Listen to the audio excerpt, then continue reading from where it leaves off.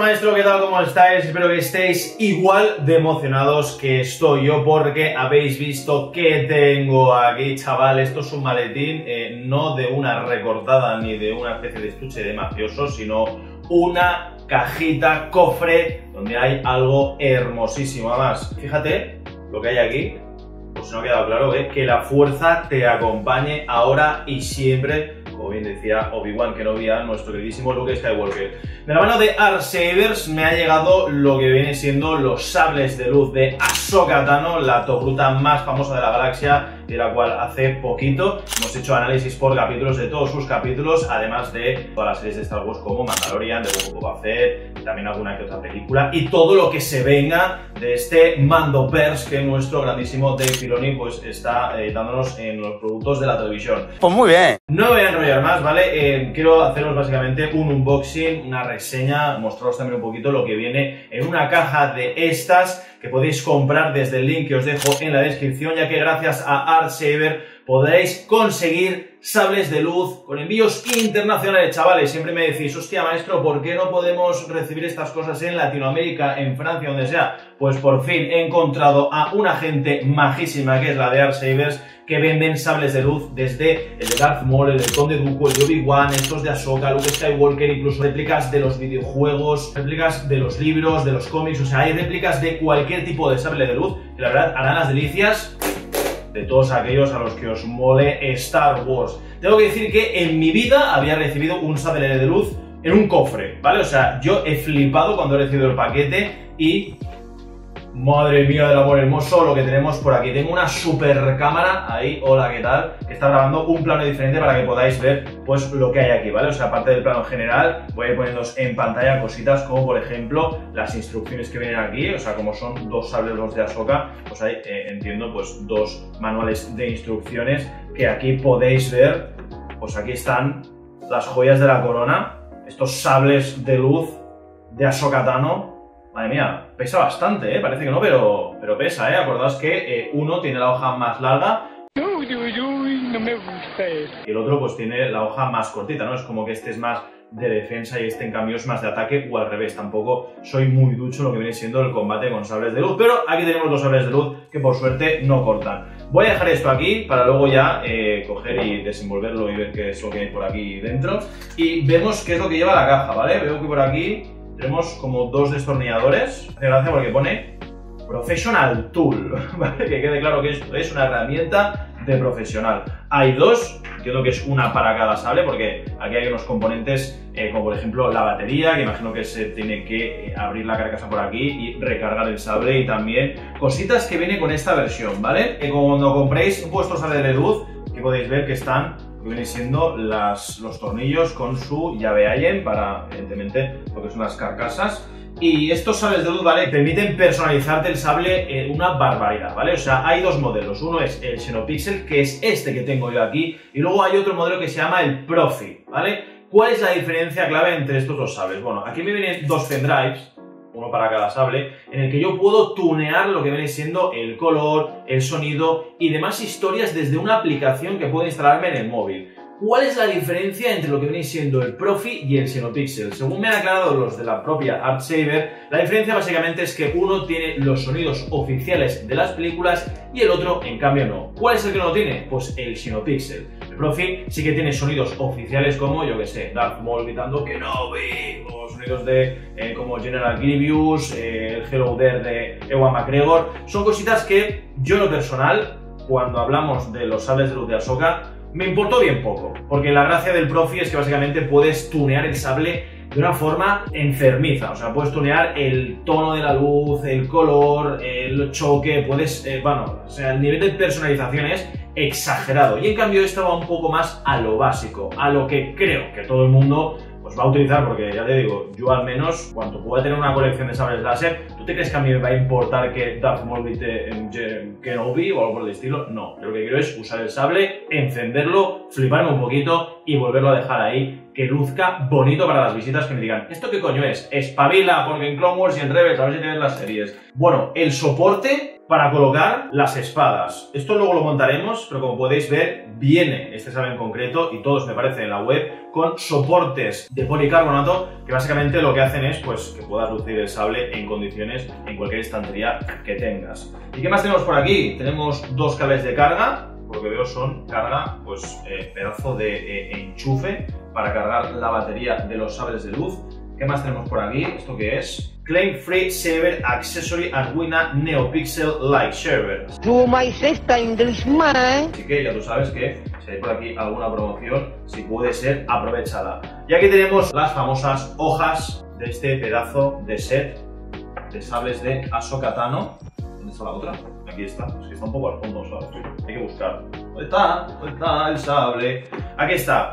También, aclarar, yo esta versión que tengo, que es la que os voy a dejar en la descripción, Viene con estas hojas que como podéis ver, una es más corta que la otra, evidentemente porque hay una empuñadura, acordate, que es más pequeña que la otra que es más grande. Estos, ¿vale? Puedes golpear cosas, pero puedes golpearlas a un nivel moderado, ¿vale? No son sables de combate. ¿Qué dices este hombre? Se ha vuelto loco. ¿Os acordáis? Hace poco, bueno, hace poco, no, hace unos meses que os subí un vídeo unboxing de un sable de luz que sí que era para combate y que ya te digo, eh, lo que es presentación, lo que es sable y demás, nada que ver, ¿eh? o sea, esto le da mil vueltas a ese vídeo. Ah, sutil. Pues, eh, como sabéis, esos sables sí que eran de combate porque lo que viene siendo la hoja era policarbonato pues muy duro, apto para golpear fuerte. Este me han aclarado que sí que puedes golpear alguna cosita, pero repito, con moderación, porque es básicamente más para exhibir y para hacer un poco el parguela, pero no para meterte de hostias con ese amigo que te debe dinero, ¿vale? O sea, ya te digo, id con cuidado con la versión que escojáis. Cuando vais a la propia web os aclara si queréis estas hojas o las que son creo RGB, que es así que tienen como una base apta para que se clave bien lo que es la empuñadura y que puedas moverlo y golpearlo con lo que te dé la gana, ¿vale? Luego por aquí tenemos esta pequeña parte de aquí que supongo que es para proteger lo que viene siendo la empuñadura de aquí y que si quieres exhibir el sable sin que esté la hoja puesta, pues imagino que esto lo colocas así, ¿ves? Y queda un poco por fuera para que puedas hacer, ya te digo, el parguela. Esto imagino que en el manual de instrucciones me saldrá y ahí lo vamos a hacer. ¿Tenemos más cositas? No. ¿Se me han roto las, las hojas? No, no se han roto. Perfecto. Pues oye, yo tengo que decir que de buenas a primeras antes de montar lo que viene siendo el sable, tengo que decir que ya solo por el cofre tú sabes que lo que vas a abrir es de calidad. Vale, pues vamos a abrir el embutido, la salchichita de Ahsoka, de forma no profesional. A few moments later. La verdad es que el tacto eh, es muy bueno. Esto es para proteger el botón que viene aquí. Y que es muy mecánico. Y aquí lo tenemos tenemos el sable, muy bonito. La villa está para poder colgártela del cinturón. Y aquí evidentemente llegan los, eh, las piececitas que vamos a tener que sacar para abrirlo y ver qué tiene dentro.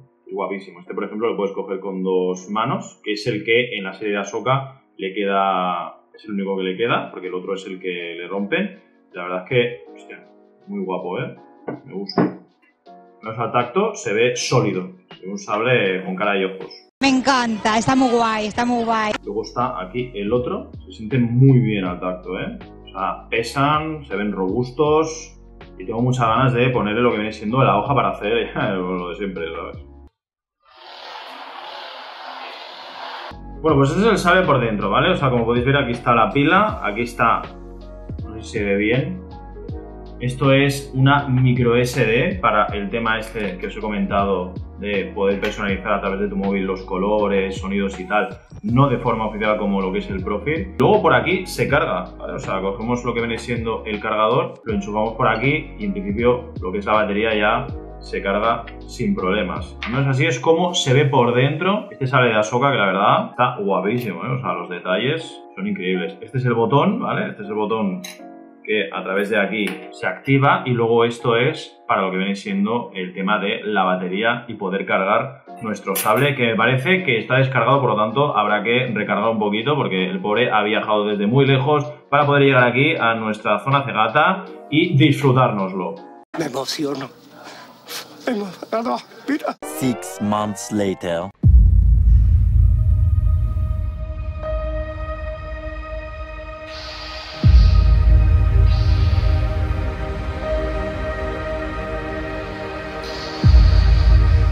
Sé que esto da bastante miedo, me incluyo.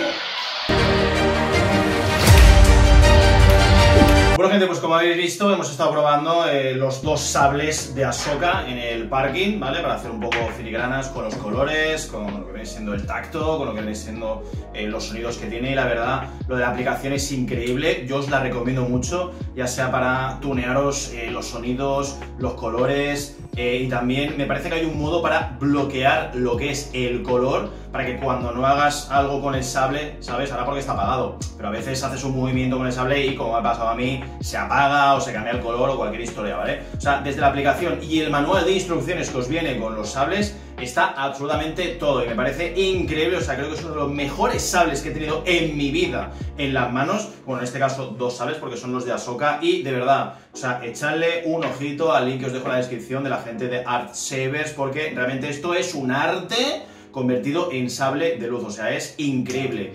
El, tacto, el peso, la hoja incluso, no es un sable para darse de hostias, acordaos lo que os he dicho al principio del vídeo, es un sable de exposición para darte flojito, ¿eh? Con, la calma, tampoco nos flipemos, ¿vale? Bueno, pues yo y mi gato de Lozal, que no va incluido en los sables que os compréis, os decimos hasta luego, que la fuerza os acompañe ya te dejo tranquilo, ¿vale? Ya ve a buscar, ve a buscar ratones en Lozal o algo así, vete para allí. Bueno, gente, si os ha gustado el vídeo, dejáis un buen like, si no, lo echáis a los leones.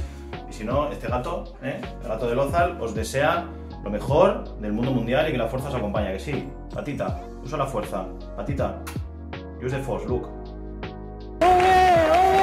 Grany. Ludzki